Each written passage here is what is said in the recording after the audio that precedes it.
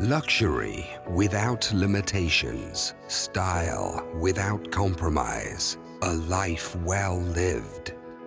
Welcome to Selling the Luxe Life, the only radio show that seeks out and highlights the deeply authentic and genuinely meaningful, unique luxury lifestyle experiences in Orange County. Bringing new and emerging premier products and services to discerning clients and connecting the affluent customer to the finer things in life.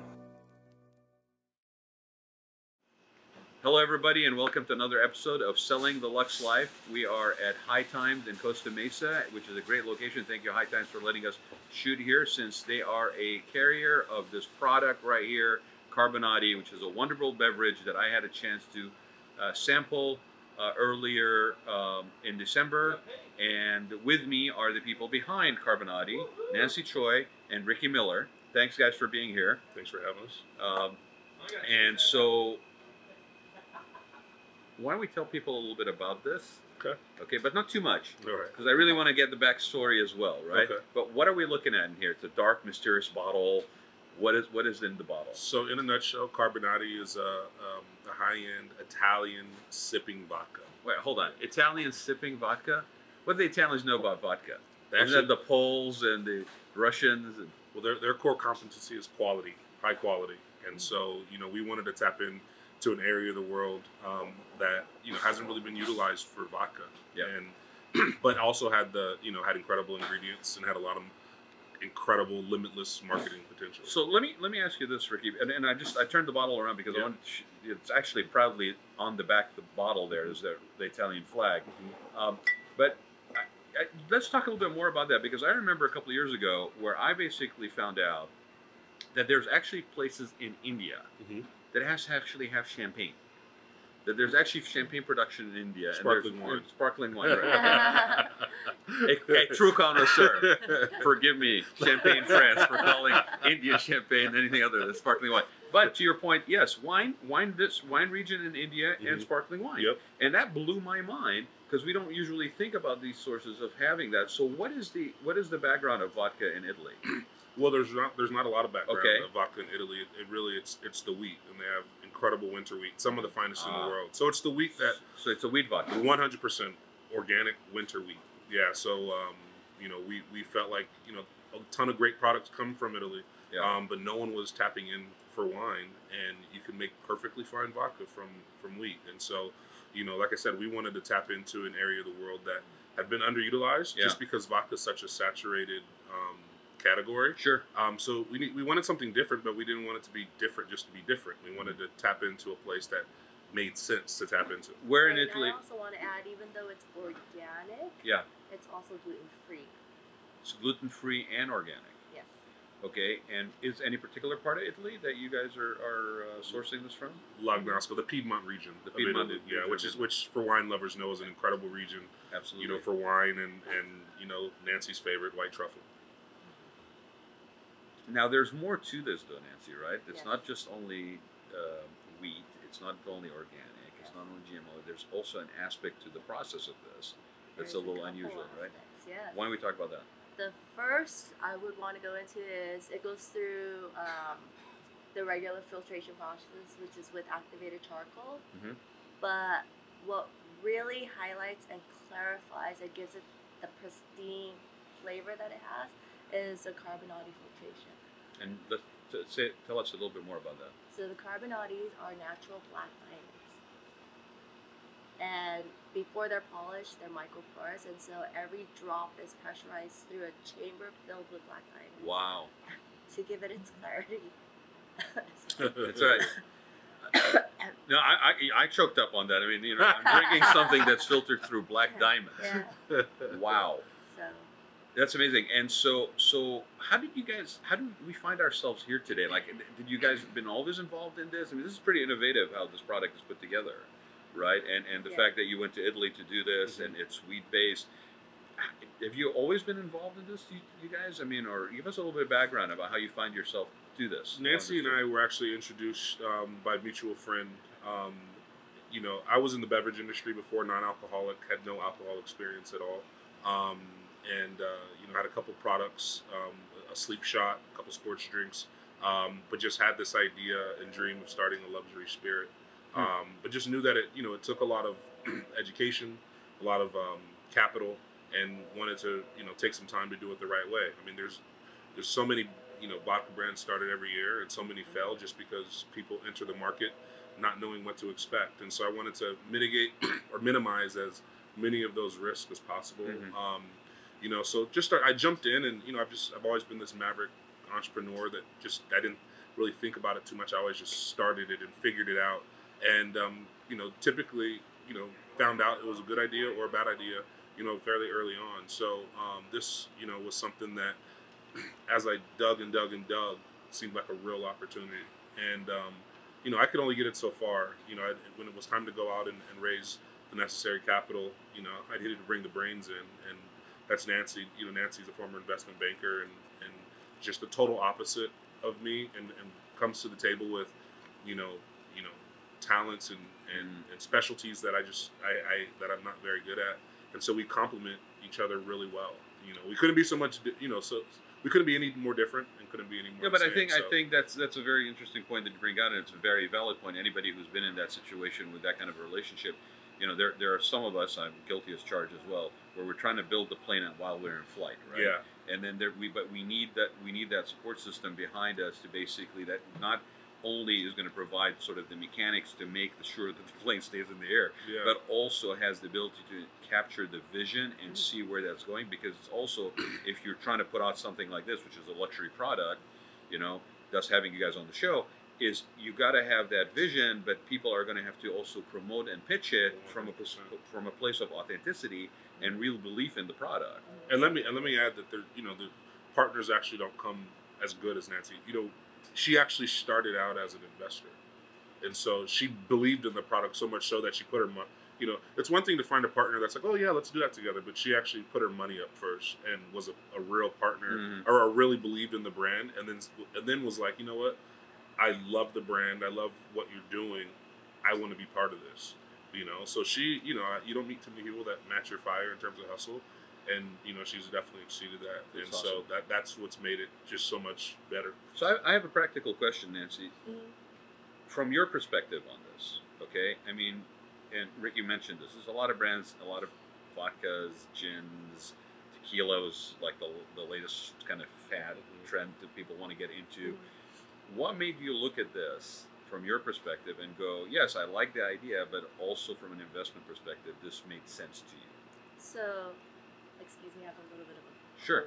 but um, the biggest thing was when I looked into this industry, I had to figure out whether or not there was an opportunity. Okay. And the biggest question is where's the opportunity? Okay. And when you look at the wines and the people, the way people are consuming wines or champagnes, everybody's trading up. Everybody knows what they're drinking, understands what they're drinking, and really want the quality and the experience to go with that Mm. and people are more refined and so they're drinking the better wines champagnes gins have elevated tequilas like you said have elevated um, whiskeys for sure have elevated and when you look at all the categories the only one that was left with a huge opportunity ahead of us was within the vodka space Interesting. Yeah.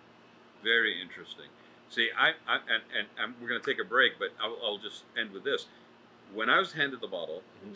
you know, it came with no instructions. Mhm. Okay, and um, I want to give out a shout out to Tracy for, for, for giving me that bottle. So thanks, Tracy. I am not a vodka drinker. Mhm. In fact, I pride myself on being a martini gin drinker. Oh, nice. Okay, yeah. But here- here I was a bottle of vodka, and I was like, "What am I going to do with this bottle of vodka?" Right? Yeah. Thank you very much. But it was I was intrigued because of the carbonation, uh, the carbonadi name, because of the process you mentioned. There is no carbonation. No, there's no. it's it's uh, it's black, Black diamonds. It's black diamonds. They're known as carbonadi. No, people And do. People do Yeah, sometimes carbonation. think that. Yeah, Yeah. So I was intrigued, and then I happen to be a proud owner of an Alfa Romeo Spider from 1985. So when you slapped a, an Italian flag on the backside of a vodka bottle, I was like curious now. Yeah. So I opened it, and and it was interesting that you mentioned earlier about the sipping component, Yeah. right? Because when I reached out to you guys and said, "Hey, I want you guys on the show," Yeah. my immediate reaction was, "This was like sipping a high eh, high grade tequila for me as far as an experience." Yeah. For sure. Yeah. So we, I mean, we, the reason you know we, we say sipping, you know, every vodka says that you can sip it. No, we truly created this to be sipped, Mhm. right? And and really the thinking behind that was that, you know, other companies might say, you know, there are luxury vodkas out there, but for us, there's you know, we, we want to create a real luxury product. Right. And to us, the other brands that claim to be luxury, they have lower end brands, and then they just have more expensive brands. The only thing that changed is that they have fancier words Mhm. and fancier fonts, and they cost more. Mhm. And so we wanted to create, yeah. And so you know, it, the, the their product, their higher end product, is consumed the same exact way. It's just going to be mixed. You know, uh, uh, we're going to take a break. We'll come back and we'll talk a little bit more about that. We'll sample together uh, a little bit of Carbonadi. So we'll be right back with Selling the Luxe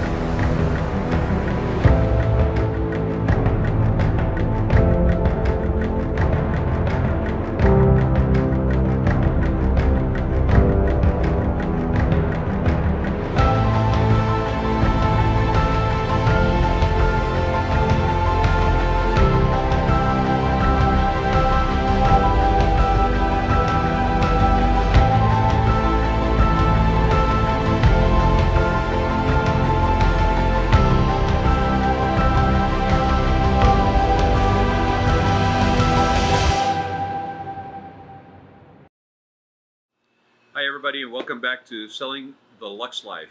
I'm Raad Ghantous, and I got my guests with me today, the people behind this wonderful beverage, Carbonadi, that we were talking about before the break, Nancy Choi and Ricky Miller. Thanks, guys, for being here again. And when we were when we are during the break, we are getting ready to sample some of the Carbonadi. uh, we were talking about something that I had no clue about. I mean, it makes perfect sense. But Nancy, you brought up the fact that people have different drinking profiles. They do. So a lot of people will ask how we recommend it to be sipped. I personally recommend it according to my taste profile, which is on the rocks. Okay. Um, other people will refuse it on the rocks, like him, because they actually like the the taste as is, Yeah. just at room temperature. Other people like to put it in the freezer and have it chilled neat Mhm. with no ice. You know, it's funny because I, I, I can I can get both of that. Mhm. There's certain things that like I'm a, I'm a big steak eater. Okay, the best way for me to, to have a steak is to have it barely tenderized with salt Mhm. and not covered with any sauces Mhm. because I want to taste the different cuts of meat. Yeah. And I learned that from a friend of mine from Argentina, and that's how they barbecue in Argentina. They tenderize with, with salt, Yeah. and you can taste everything, any cut differently if you do that, Mhm. right? And so I will go to places, and when I see it clumped with sauce, it's like, what's the quality of the meat? Yep. So I can totally get it, Ricky, that you know when you're tasting it in its purest form, Mhm. you're a purist. That you you get all the sensations and the flavors and the the nose in it and everything. But at the same time, there's some some drinks like my gin and tonics. I want extra lime in there. Yeah. I want ice. For, for sure, and yeah, ice is always gonna, you know, minimize the impact of each of the notes. With when I drink Carbonadi, I want to taste every single note, you know. And for me, it, it's also a part of wanting to be able to blind taste all the different vodkas and tell you exactly what it is. Right. So I, I just, for me, it's all it's practice, but I also enjoy it. You know, to be honest with you, when I'm out, Mm. I do drink it on the rocks, but as often as I can, I'll drink it neat. Well, I appreciate you being very candid with us to drink it the way you really like it. So why don't we split, give, give Ricky a little bit of that because I want to know more about when you're when you're sampling it, Got it. what it is about it that you enjoy in its purest form. Got it. Um, I have had it uh, actually without ice before Mm-hmm. when I when I sampled it, and um, I'm curious. I'm curious what your take take is on it, and that's part of I think why for me it also felt experientially like a really high grade quality sipping uh, alcohol, Yes. like a like a tequila. Yes, and you know we, we do a lot of events, um, not just Thank you. because we have a ton of fun at events, but also because our sample conversion rate is our sample conversion rate's insanely high. So for the most people that try it, they like it and stick to it and will buy it. Um, and so, um, you know, at these events, you know, you'll get ladies, sometimes even men, come up and you know, they're like, "Oh, I don't drink vodka straight," and You know, we're like, well, just try it. Yeah. And- well, because the, the, the, there's a lot of mental, condition, mental right? conditioning. Yeah. So like one, you know, almost every single time, those people they'll try it and you'll see their face and they'll wait for that smack in the face of ethanol that they typically get from vodka. And Yeah. It'll never hit them, and, and, and that's where we that's where we where we, we win them as customers. Well, b- before you, you, you, you taste that, I do want to also recognize the man behind the camera, Mr. Andrew Lopez, who basically should, yes, thanks, Nancy. Nancy poured you a, a glass, Andrew. So, um, Cheers. so cheers, everybody. Thank you for being on the show. Andrew, thanks for uh, doing this, always. Um, and let's, let's, so tell me about it. You wanna Okay, so what should we do? Swish it? you wanna swish it. Okay. You wanna take a nice smell. Sounds good. One of the things that you'll notice when you swish it is because of the microoxygenation, which is typically used within wine. Yeah. It has some legs of a wine. Oh, yeah. So it gives the liquid viscosity. you can see it a little more without the water because the water dilutes a little bit, but it Yeah. coats the glass like a wine. Mm-hmm. That's what that's what we wanted to add. So when people, My, my, my glass with the, with the ice. I and the did it, water I still- did it. Don't take my legs away from me. yeah, it still does it. It So- so that's that that velvety creaminess that, that we we really wanted to get through the microoxygenation process, and you can taste that when, you know on the tongue. It really is amazing. I wish you guys could taste this. You should go out and get this. By the way, how can people find out about Carbonadi? Let's give them out the website and where can they get the. So houseofcarbonadi.com.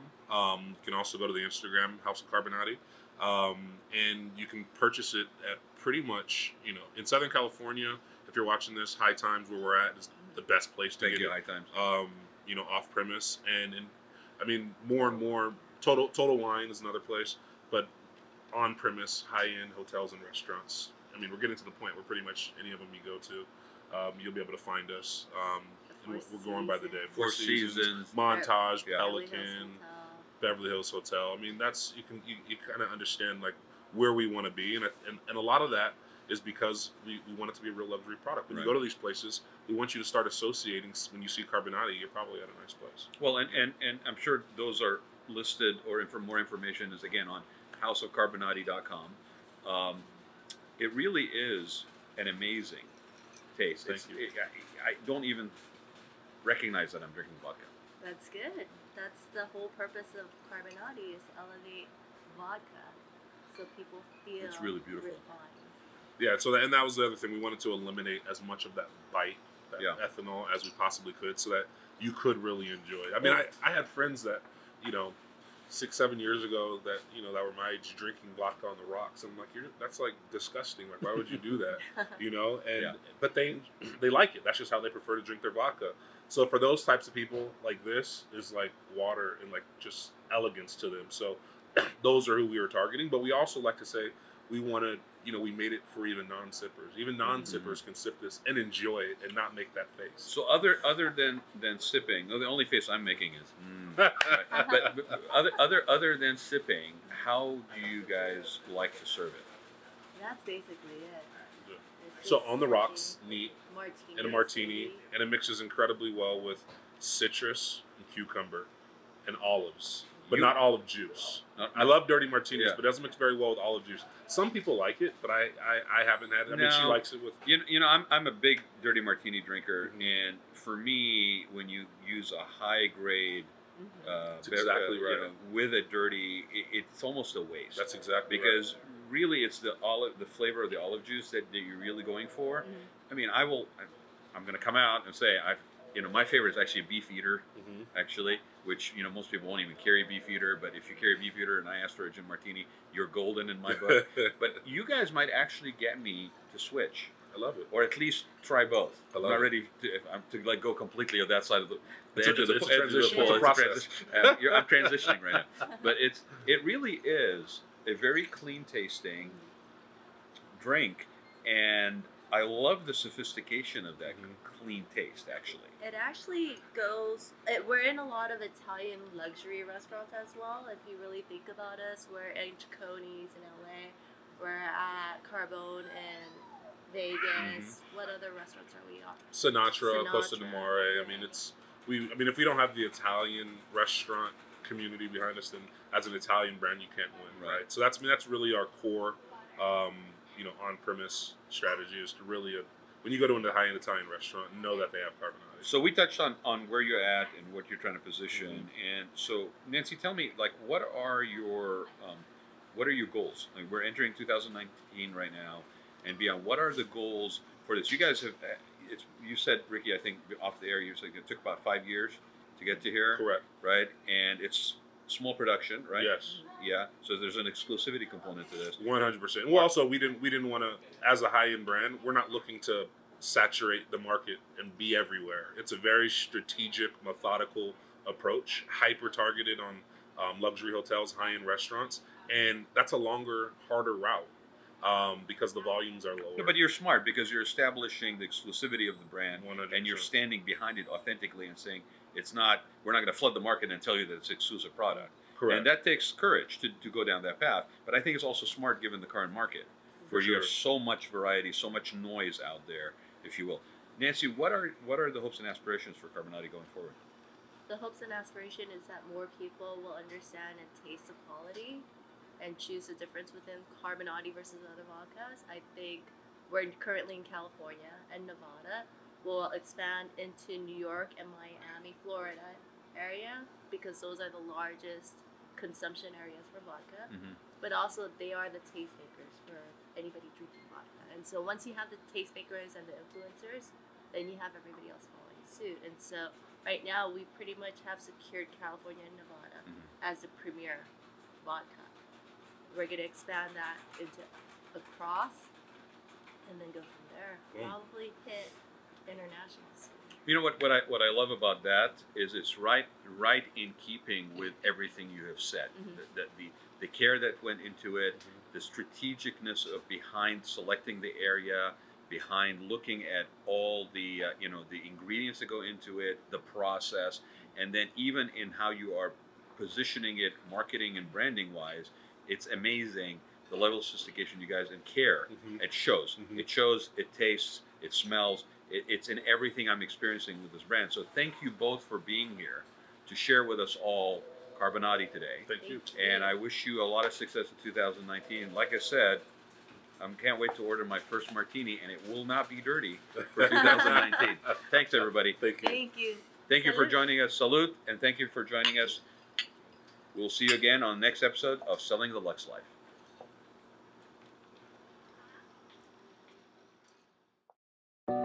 Thank you for joining us this week on Selling the Luxe Life. We hope you enjoyed the show and look forward to hearing your thoughts and feedback via email on our social media platforms. Be sure to tune in next time as we continue discussing life's luxuries that inspire us while showcasing members of the Orange County community that share our same passion for sophisticated living.